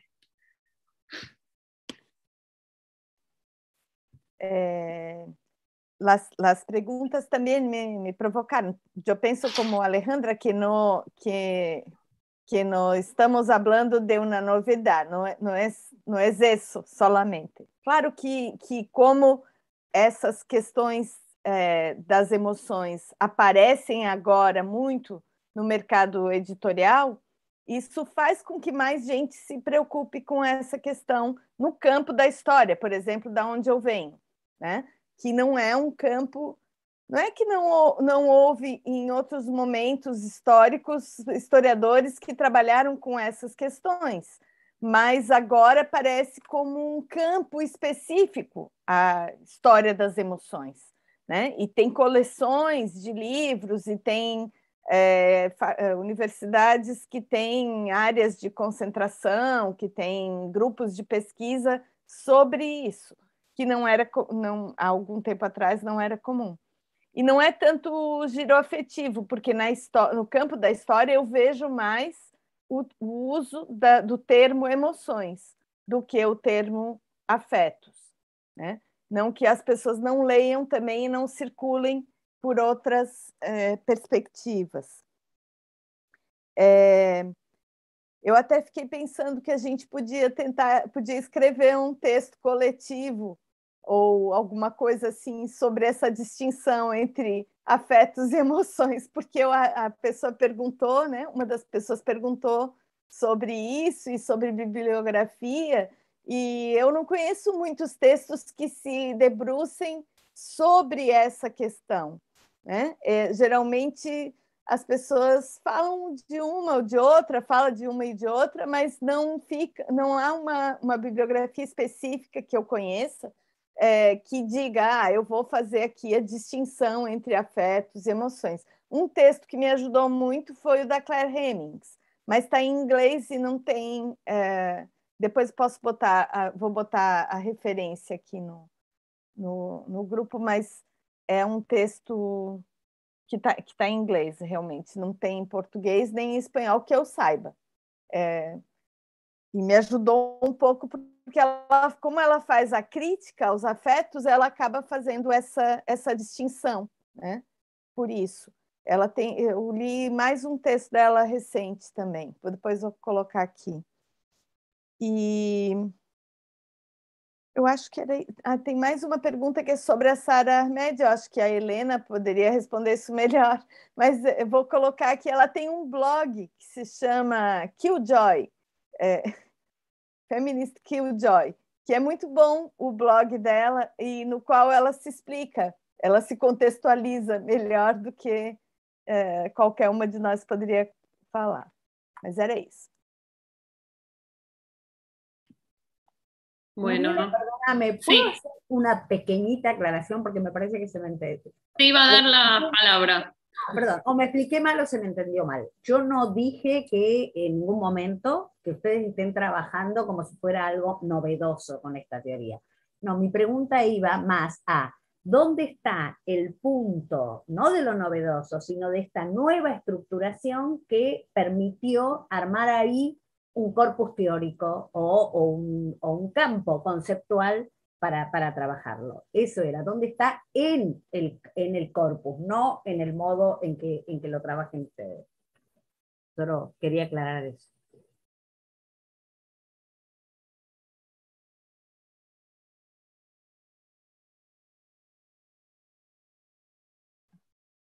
Pues, Mariela, ¿puedo? Sí, Elena, adelante. Gracias. Pues eh, haciéndome eco de lo que decía ahora Cristina eh, sobre quién sea Sara Ahmed. Para mí, alguien fundamental, ya lo dije en, el primer, la primera sesión de este taller cuando hablábamos de nuestros itinerarios y hoy otra vez, aunque fuera para, para no acabar de estar todo de acuerdo con, con que a ella no le parezca relevante la distinción entre emoción y afecto. Pero bueno, en todo caso, para atender a la pregunta de alguien del público, eh, pues es una socióloga eh, nacida en Inglaterra eh, que ha trabajado pues en las últimas de manera intensiva, yo diría dos décadas, eh, cuestiones que tienen que ver con la intersección entre eh, raza, sexualidad y género, teoría poscolonial también, y uno de los nombres más importantes en eh, la, sociología, yo diría, de las emociones. A la vez a mí es un personaje que me ilusiona mucho porque, como decía Cristina, que acaba de poner en el chat este, el blog de la Killjoy Feminist, es un personaje que me gusta porque eh, hace una combinación que, bueno, que no es la única, la hacemos muchísimos de nosotros en mayor o menor medida, pero que es una buena combinación entre academia y activismo. Entonces, pues sí, es una feminista eh, que ha trabajado muchísimo, y ahora les cuento por qué lo pongo en pasado, en temas que tienen que ver con políticas de igualdad eh, no solamente de género, sino también notablemente de raza adentro de las universidades. Y lo pongo en pasado porque eh, como resultado de muchos desencantos, ella hace como relativamente pocos años renunció pues, a lo que desde fuera se ve como el mejor de los mundos posibles en la academia, que es ser eh, profesor, se dice en, inglés, catedrática, se diría en España, creo. Eh, bueno, el top eh, en la jerarquía académica en una institución también eh, súper chida que es Goldsmith. Entonces ella, como resultado de ese desencanto de, pues eso, de, los climas políticos adentro de las universidades, pues renuncia y ahora se dedica a escribir, etc. Eh, y la, idea que decía Cristina de la feminista aguafiestas, que es una idea elaborada también entre una cosa también súper bonita, ¿no? que es, eh, hoy nos escuchaba, me escuchaba yo particularmente, de hecho, entonces, no sé, a veces eh, hablo en realidad por mí. eh, estamos como muy, estoy muy atrapada en cuestiones como teóricas.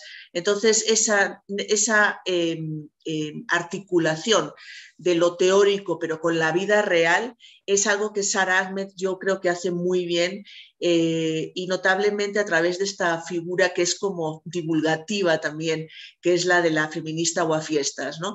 Y que reivindica una cosa muy bonita que decía antes eh, Mariela, eh, o muy interesante, que es la problematización entre emociones positivas y negativas. ¿no? Entonces, ser un aguafiestas, en principio, pues no es nada atractivo, no es nada sexy, ¿no? Y entonces ella recupera toda esa potencia de pues, la gente que estamos en desacuerdo con cosas.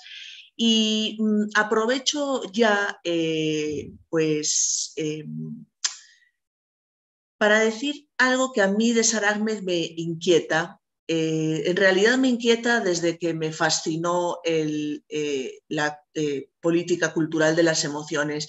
Y es que yo no soy socióloga, entonces ya me dirán las sociólogas que, están hoy aquí, pero desde fuera de la disciplina se me hace una socióloga un poco extraña, ¿En qué sentido? En el sentido de que ella, la, política cultural de las emociones, en realidad es un análisis discursivo de lo que ella llama la emocionalidad de los textos. ¿no? ¿Y de qué textos? Pues a ella en ese libro le interesan sobre todo textos mediáticos, ¿no?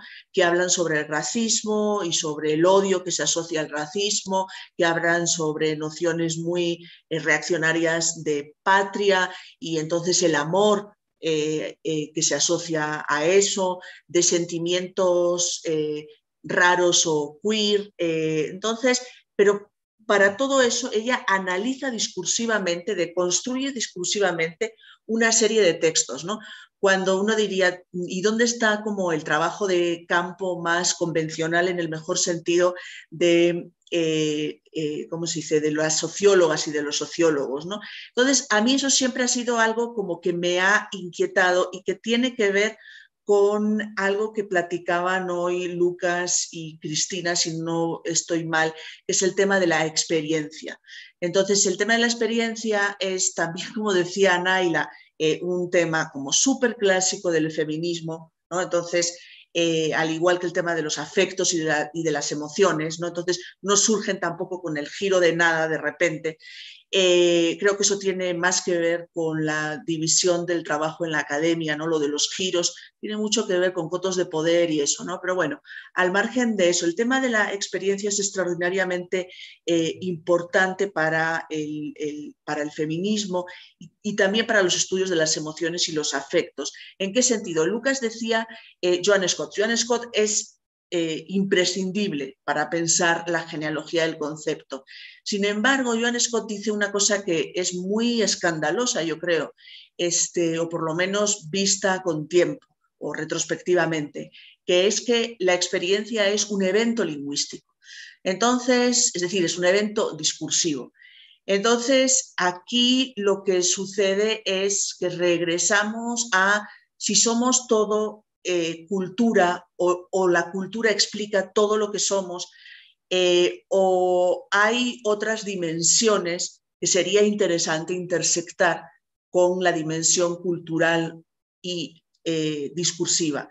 Hay un texto que ahora Em, recuerdo cómo se titula, porque merece muchísimo la pena leerlo, de Linda Martin Alcoff, donde ella problematiza esta idea discursiva de la experiencia y dice una cosa que también pues mucha gente dirá, pues tampoco es tanta la novedad, ¿no? notablemente los psicólogos, eh, que es que la experiencia en realidad es no solamente el cruce de discursos, sino de fantasías, de deseos, de sentidos. En ese sentido, y hablando de giros, el giro sensorial también eh, tiene cosas muy interesantes que decir. Hay una colega que ahora les paso algunos de sus textos eh, mexicana, que se llama Olga Sabido, que trabaja de una manera con mucha otra gente, de manera muy interesante en el tema de los, de los sentidos.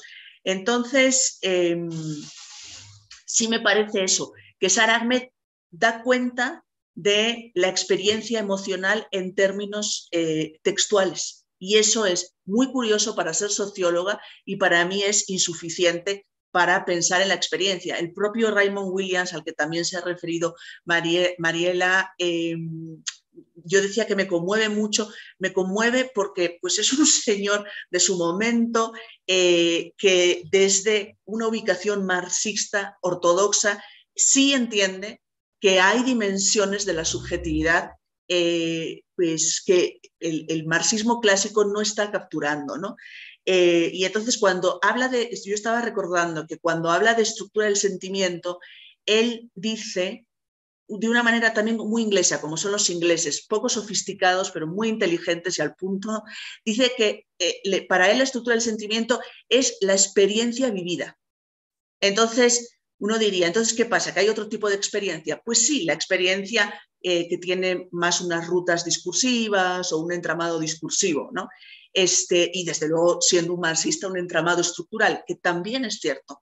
Digo, aquí no se trata de invalidar este, pues, determinados modelos muy potentes históricamente ¿no? en las ciencias sociales y las humanidades, sino de ir problematizando y abriendo preguntas y sumando. ¿no? Entonces, eso de la experiencia vivida de, de, de Raymond Williams me parece muy interesante, porque en lo de vivida es donde yo creo que se juegan un montón de cosas interesantes que exceden lo estrictamente discursivo.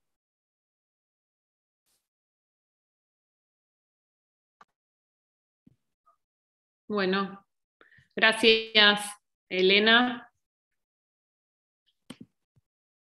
No sé quién tiene ganas de preguntas, creo que no tenemos más.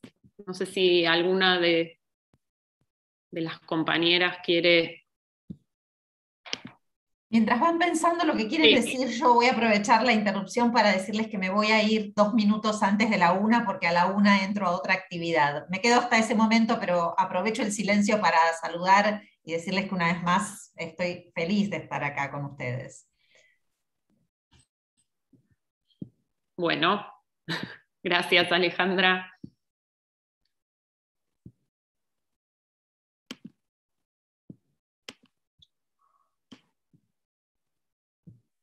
Naila. Hola.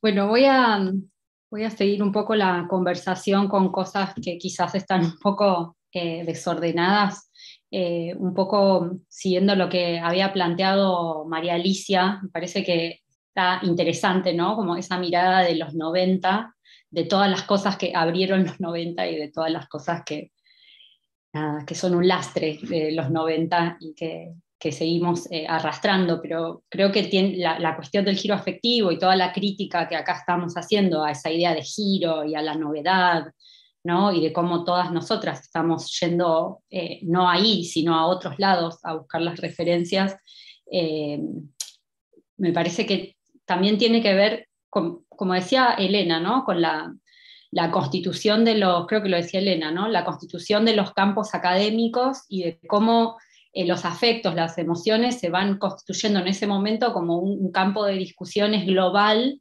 ¿no? de la academia global, este, como, lo, como, lo, entendemos ahora, y también en, en, un, en un, como en una, unas comunidades de diálogo, podríamos decir que justamente también empiezan a leer a contrapelo la historia de la filosofía, la historia de la teoría social, la historia de la teoría política, de la sociología, de las neurociencias, ¿no? de cosas que vienen de, la psicología, que vienen de lugares como muy, eh, muy distintos. Este, y em, siguiendo un poco lo, lo que proponía Elena con respecto a la sociología, yo no puedo responder casi como socióloga porque más, casi siempre siento que estoy haciendo otra cosa. Este, no se espanten mis compañeras y compañeros de sociología, pero me parece que lo que hace Ahmed ahí en, la política cultural de las emociones es un ejemplo divino de sociología de la cultura, ¿no? Este, e, eligiendo un corpus textual y haciendo un análisis eh, también textual de esos textos mediáticos y de ese, ese corpus. La, la pregunta que tengo yo, que la lanzo y que probablemente sea una pregunta para charlar el encuentro que viene, es cómo llegamos también metodológicamente, cómo llegamos hacia esas otras dimensiones eh, que no tienen que ver con lo social, con lo discursivo, con lo que está estructurado eh, por la cultura, ¿no? ¿Cómo podemos tocar analíticamente esas dimensiones si no es a través de lo que nos dicen los sujetos, lo que observamos en la vida social que ya está codificado culturalmente, lo que leemos en discursos sociales? para mí esa es la pregunta y es la pregunta que me estoy haciendo también ahora cuando pienso la protesta feminista y todas estas cosas que pasan que tienen que ver con, lo táctil, con lo kinestésico. Este, esa me parece la pregunta que dejo para quizás para el encuentro que viene.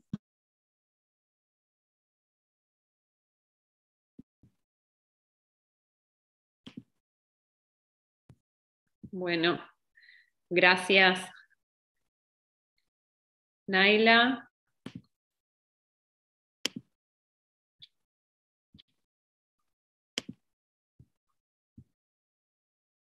Estoy viendo si tenemos alguna otra pregunta, pero no, no hay más preguntas. Creo que más o menos fuimos contestando Puedo decir para que, para que no parezca que no hay interés, que a mí lo que me pasó es que estoy pensando lo que dijeron, me puse a buscar los textos y ahora siento como que tengo que leer mucho para seguir hablando de esto. Entonces, no, ya no me atrevo a decir nada, quiero, estoy pensando y necesito leer. Eso, está bueno en todo caso cuando uno queda con ganas de leer. El, el chat es un programa de lecturas, en realidad. Copien ese chat, por favor, porque es un programa de lecturas invaluable, con los aportes de, que, hemos ido recibiendo. Eh, es eh, impresionante. Bueno, yo, me voy a retirar. Les saludo. Bueno, gracias, Ale. Gracias. Sí, bueno, acá eh, Dice Paula, dice, bueno, desde las etnografías feministas se trabajan las emociones y la dimensión emocional también de forma distinta eh, a los análisis textuales. Pensar en el concepto de embodiment y también de experiencia encarnada. Eh, sí, me parece que, como decía un poco Alejandra, el encuentro más que ayudarnos a, ir cerrando cuestiones, eh, fue abriendo y mostrándonos como, como diferentes perspectivas y teorías para, acercarnos a esta zona de los afectos, diferentes perspectivas y teorías, eh, digo, fueron apareciendo muchas, digo, desde el feminismo, la teoría de los afectos, los estudios culturales, ahora la compañera menciona la antropología.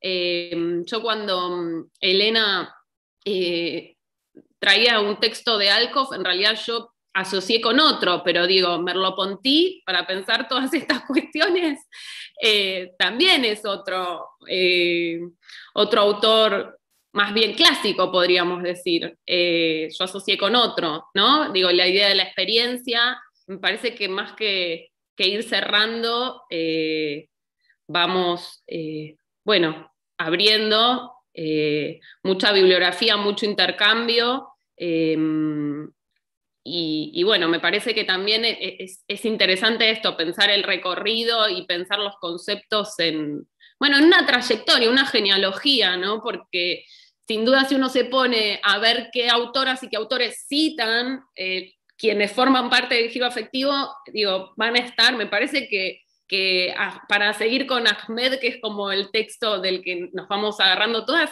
ella hace estas lecturas más bien de los clásicos también. Digo, ahora no recuerdo, pero se podría hacer y me parece que en su libro aparecen eh, citados autores y, muy clásicos, en principio de la sociología, de la filosofía, ella recupera, hace ese trabajo de recuperación.